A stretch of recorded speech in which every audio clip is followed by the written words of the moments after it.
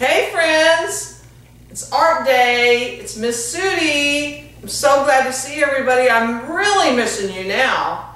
We're getting to the end of our school year. Isn't that great fun?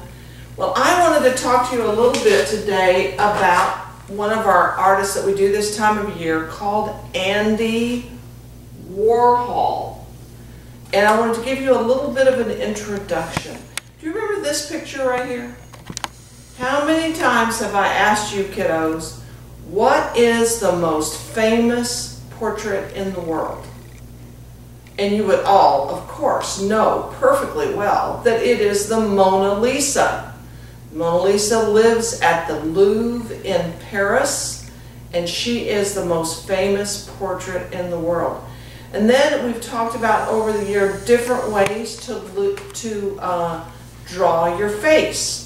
You remember we learned about our faces and how our face is constructed with the oval shape and your hair not starting up here, but the oval is and your eyes are in the middle and uh, your mouth is in the middle and the eyes are like footballs and where the ears are. I'm sure you all will remember that lesson.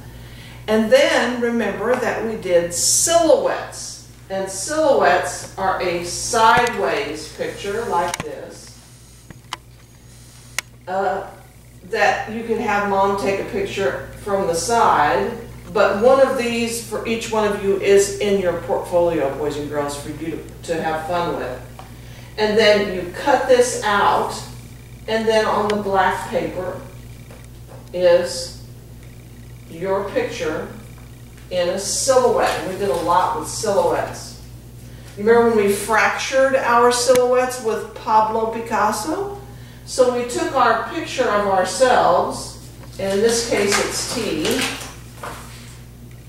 and we cut out a silhouette of it, so just the shape, and then we cut it into pieces and then put everything back. So we fractured our silhouettes, and we made silhouettes. This is Pablo Picasso.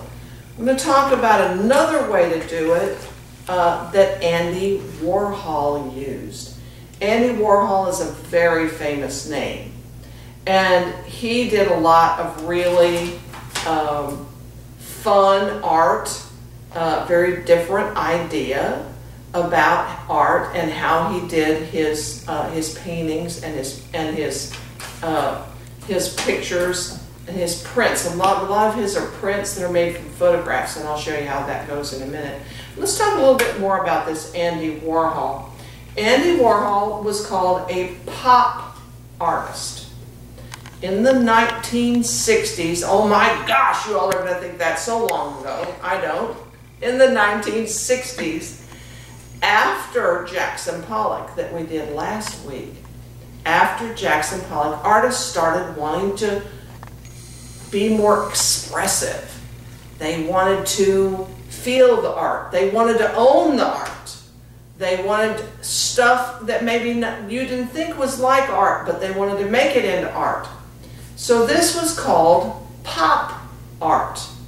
And Andy Warhol was an early pop artist and a very good one. I'm going to show you some of his work.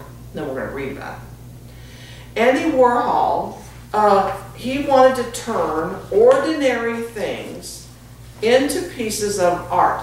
Now this is a picture of an exhibit, and this is a grocery store. And at this time in the 60s, the only kind of fancy soups we had were Campbell's soups in a can. So he, liked the idea of taking Campbell's soup cans and making them into art. So this is actually a painting of one of his soup cans. And he made ordinary things, pieces of art that everybody could have. So that was called pop. This kind of time, chicken, this is chicken with rice soup by uh, Campbell's.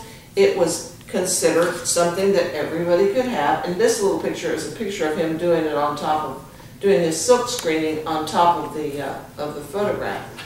Here's a silly picture of Andy Warhol. And Andy Warhol is, is looking at a box of Brillo pads. Now those are scrubbers for the sink that you scrub dirt out of pans and stuff with. I think they still exist. Uh, and he would take the box and make it into a piece of art. He would paint a picture of it, or in most cases, he took a photograph of it and then he painted on top of the photograph with a process called silk screening, which is a very, that silk screening is something I don't know how to do, but it's also quite a process and has a lot of steps and, and so you don't want to do it at home. But this is Andy Warhol looking around his Brillo, his Brillo pad pictures. He would also take things, ordinary things like Mr. Cow here, and you see he would do a picture of Mr. Cow, but he not only did one picture of Mr. Cow, he did two or three or four. So a lot of his pictures have multiples of the same picture.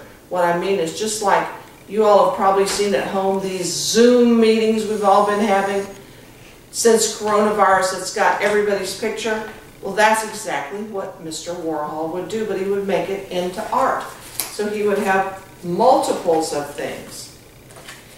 He also was very popular and sold a lot of his work to, um, to celebrities. So the celebrities um, would buy their portrait and it would have a whole lot of portraits in, on one page. Now, Mr. Warhol lived in New York City, and you're going to hear about that. You know, I have to show you a book about that. Lived in New York City, and he, he lived in a house that was a lot of stories, and you'll see that in the book. But his art studio was in a storefront called The Factory. Now, the factory was an art studio where visiting artists came to stay. You could go and do your art there at the factory if you wanted to. It had a lot of space, and that people could work on the floor and work on an easel.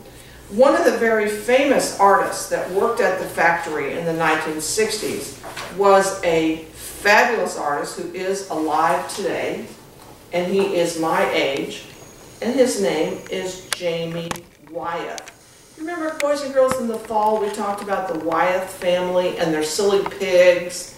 We looked at pictures of their, of their cute pigs and pumpkin head picture. Well, this is Jamie Wyeth. This is one of the sons of Andrew Wyeth. And this is, and this is Andy Warhol. So when Jamie was in New York, he worked in the factory. That's the name of the studio that belonged to Andy Warhol a lot of portraits were done of famous people. And I will show you some of the pictures that were combinations of Warhol. They were collaborative of Warhol and Jamie Wyeth. This is a Warhol, a beautiful one, of the artist Jamie Wyeth.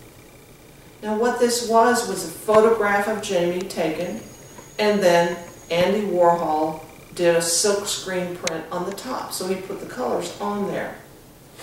Show you another one.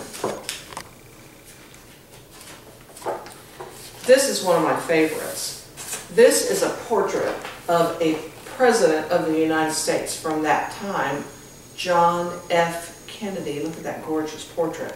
Portrait is by Jamie Wyeth.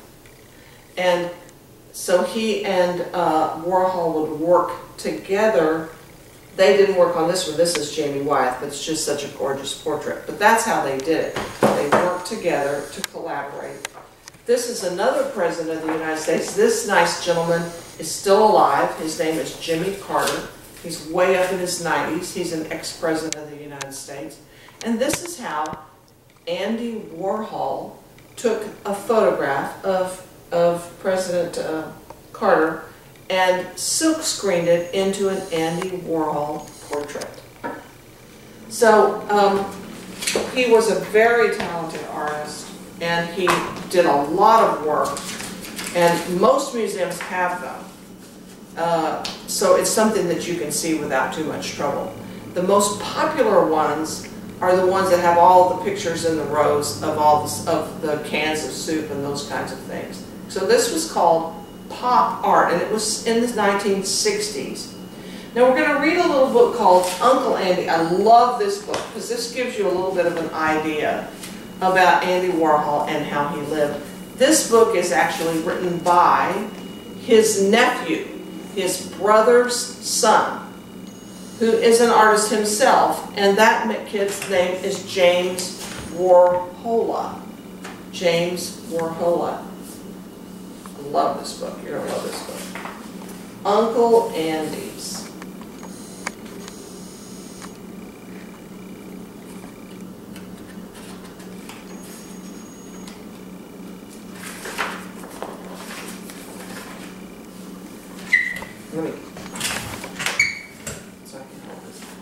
Looking back in those days, the one thing I remember most is thinking my dad had the best job in the whole world.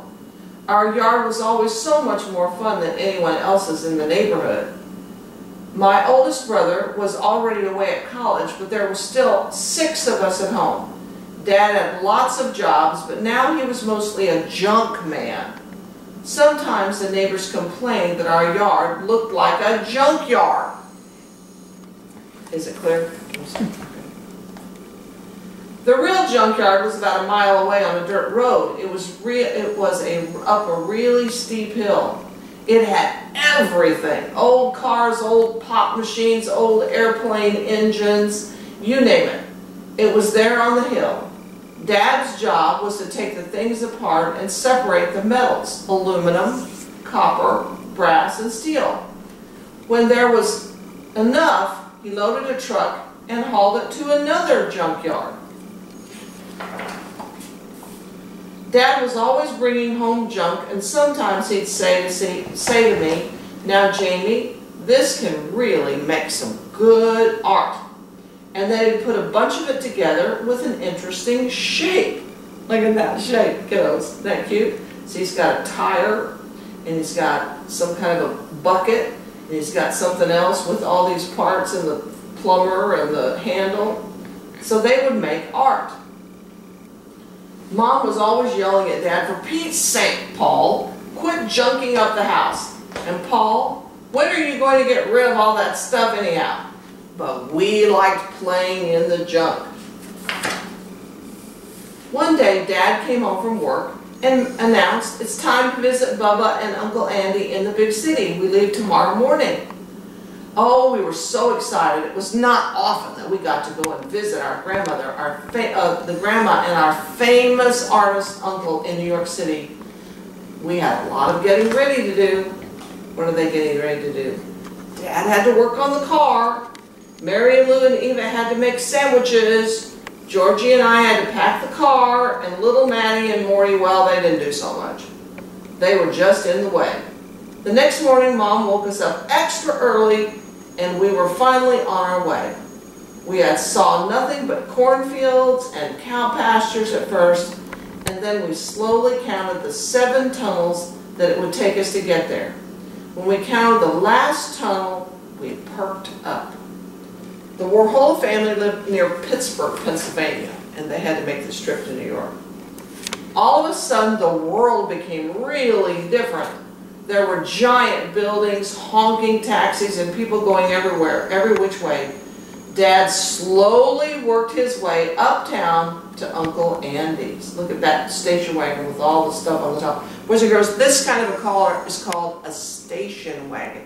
That was before all the SUVs. This was the SUV of the time. There, were, there we were, all eight of us standing in front of a huge black front door ringing the bell. And after a long wait, the door unlatched and slowly opened. Uncle Andy peered out for a moment and then let out a long, ooh.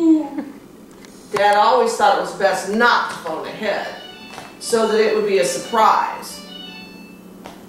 And certainly, it certainly worked because Uncle Andy was always very surprised.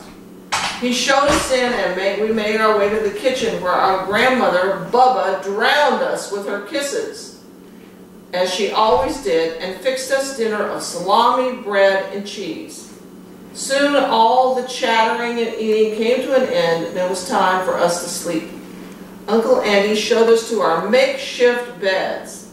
I slept on the top floor in a pop-up, in a propped up old door covered with cushions. The bed is right here, see it? See it's on a door with cushions and he's all is surrounded by all these boxes of, of Campbell's soup that are art pieces. In the morning, I noticed that I was surrounded by towers of soup boxes. I thought Uncle Andy and Bubba sure liked a lot of, to drink, eat a lot of soup, but that wasn't it at all. Uncle Andy didn't buy those soup boxes, he built them out of wood and painted them each one. They were art and really important too, because Uncle Andy had told me uh, we were not supposed to touch it. If you'll look and see what's around the room. The cats, you're going to hear about that the story. Dad always remembered to bring Uncle Andy something interesting from the junkyard. This time it was a giant magnet with a bunch of bolts stuck to it. Uncle Andy peered over his glasses and as, as, at real carefully. And after a pause, he said, oh, gee, wow. And we were, knew he really liked it because Andy didn't say much. Uncle Andy had 25 cats, and they were all named Sam. It was perfect. The house was a giant amusement park. It was perfect for hide and seek and racing. It wasn't long before the six of us were flying up and down the stairs through all the rooms like a band of wild monkeys. And here's a picture of the house. And boys and girls, this house still exists in New York City, and it just sold a few years ago, again. But it has a multiple stories, skinny townhome, and from the basement up to the top floor. Uncle Andy thought everything in the art in the world was art in some way or another. That's why his house was so fantastic. Each of the rooms was filled to the brim with all sorts of really neat stuff. Look what's in here. Here's one of his paintings of Marilyn Monroe. See the babies going up the stairs? Got a carousel horse and all kinds of fun stuff. See, he was just like his brother. There were always neat, new things to see, too. Right in the middle of the entranceway, there was a giant piece of crumpled metal. It looked like it might have been gotten stuck there and couldn't go any farther. Andy, Uncle Andy explained to us, oh, that is a piece of fabulous art by a famous artist. We were impressed. Dad had a lot of that back home. Uncle Andy was always making art. We loved to watch him paint in his studio. He made regular stuff like soup cans and uh, Coke bottles, and money look like real art. Mary Lou and Eva and I just loved his giant pictures of Elvis Presley. That's a rock and roll singer, kiddos.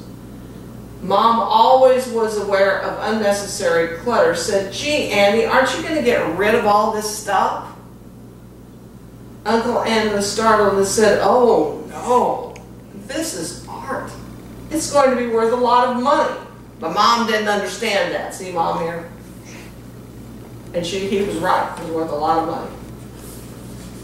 Now this is something you can still buy, boys and girls, is paint by number kits. I saw them on, uh, I think you can buy them on Amazon.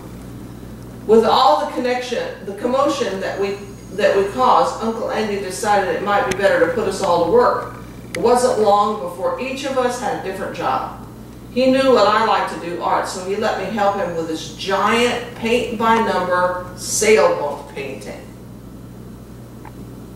See, everybody's getting into everything. See, here's a Coke bottle, and this is his giant paint by number. Those were very popular in the 60s. At night, Uncle Andy went out to parties to see other famous people. In the morning, we patiently sat by his door waiting for it to open so he could tell us all about who he'd met. One, once Maddie surprised Uncle Andy by going into his room a little too early. He let out a shriek because he didn't have his wig on. Of course, we all knew that Uncle Andy was bald, just like our dad. Uncle Andy had a wig for every occasion. A messy wake-up wig, multicolored afternoon wigs, and formal wigs for parties. He had given, given Dad all of his old wigs, and we all played in them. See this picture, all of them, including the baby, have a on.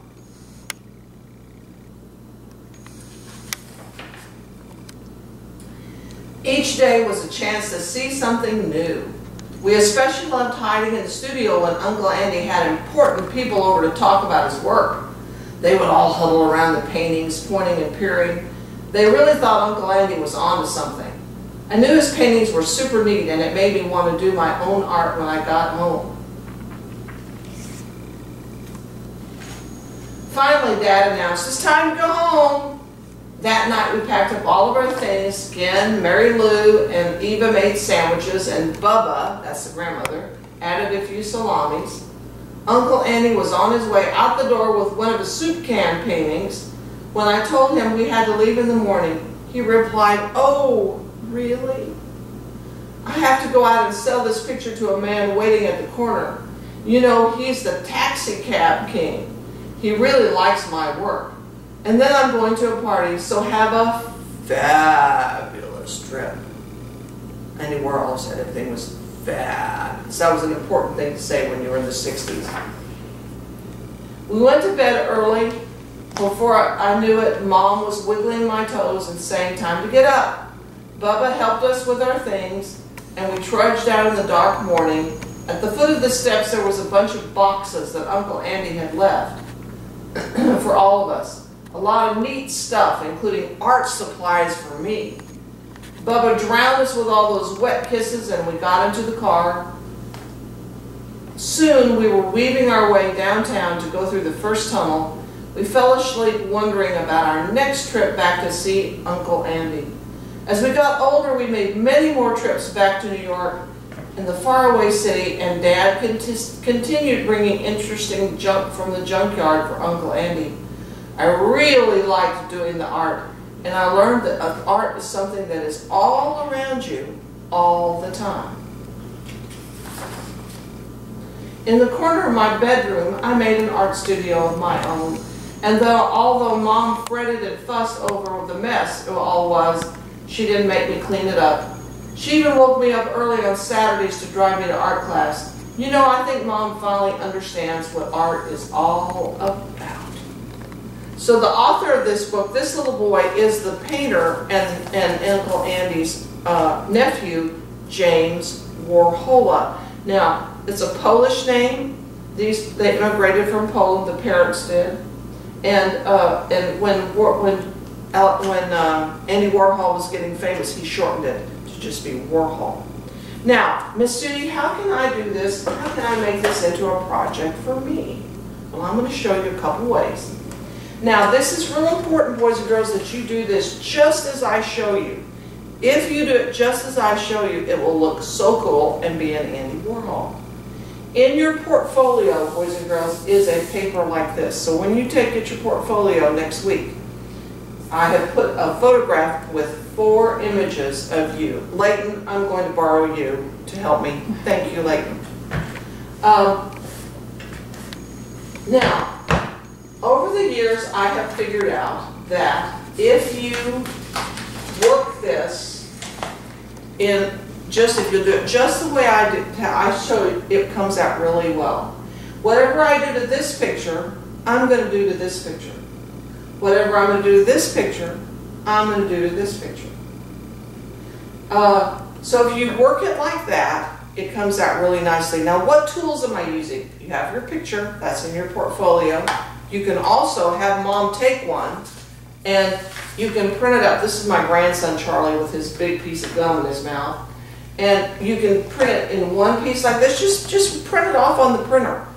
Or you can, you can do it in multiples if you ask your computer to do it. I just got this this morning off of my, off of my photos. So you don't have to have this, and you can keep on doing it by just taking, have mom take a picture of you and then print it up off the computer.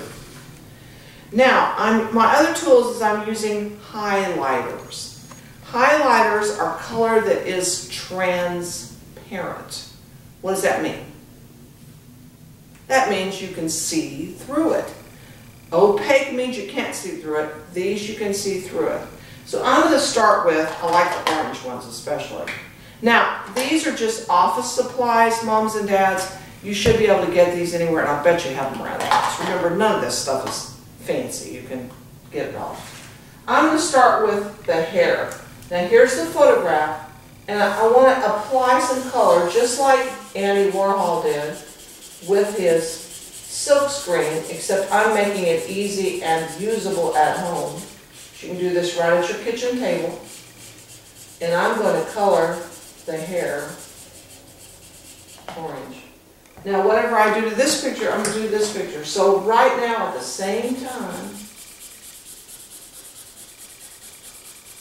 I'm going to do Layton's hair on this picture.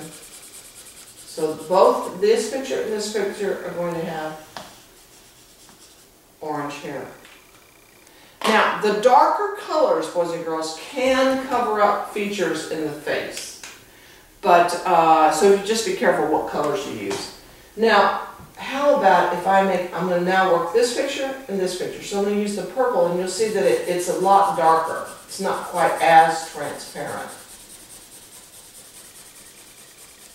Make this fun, boys and girls. You don't have to And I'm not going to do a lot to it so that you can see it, but I'm applying color just like Andy Warhol did on the top of the photograph, okay? So we've got two orange hairs, two blue hairs. Now, I'm going to take the yellow transparent and I'm going to do yellow eyes here.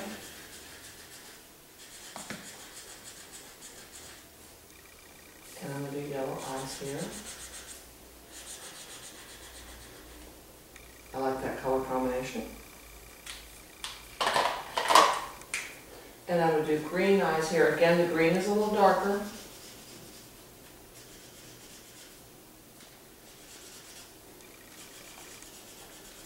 Okay. And I'm going to use pink. I'm going to do his ears pink here and his ears pink here.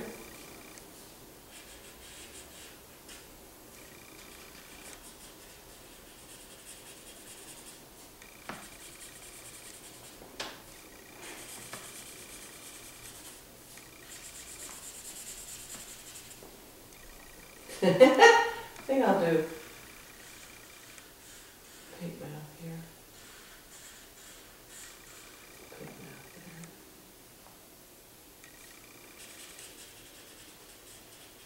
So whatever I do to this one, I'm doing to this one, whatever I do to this one, I do to this one. So you work them all together. Now, let's see, I've used the green, blue, and then use the purple. okay. I think I'm gonna do the shirt blue on this one.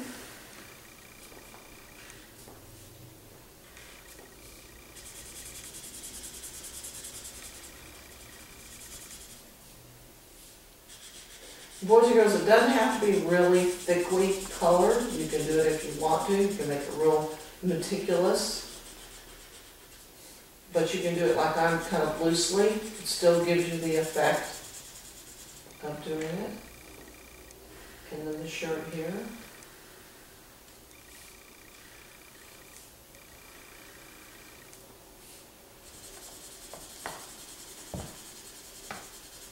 So you're making yourself into an Andy Warhol. Andy Warhol, I heard a story from Jamie Wyeth that when they were painting in New York in the factory, that Andy Warhol's work was so popular that he'd be working on something on, in the factory and they'd be working on the floor on one of his paintings and people would come right in and buy it off the floor before it was even dry. So he was very popular. Let's see here. Hmm. About if we put an orange line around his head here. So we have a contrast in this color. Because you'll see that Andy Warhol had a lot of lines like this. And you can do it however you like. Some boys and girls like to fill in the background too. And that's an idea.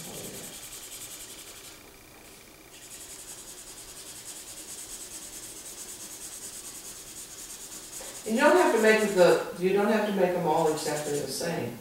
You do- You have to make this one this the same, this one this one the same. Anyway, you get the idea, kiddos, you just have a good time with it. If you ruin it, if you color it in too much, you can always just take another picture, ask mom to print it up for you, and then you can start again. The only thing that happens, boys and girls, is that if you, if you make the, if you try to make these highlighters real thick, it tears the paper. So don't be surprised, now, see, that was cool, okay. Now, you can do that on the other two if you want.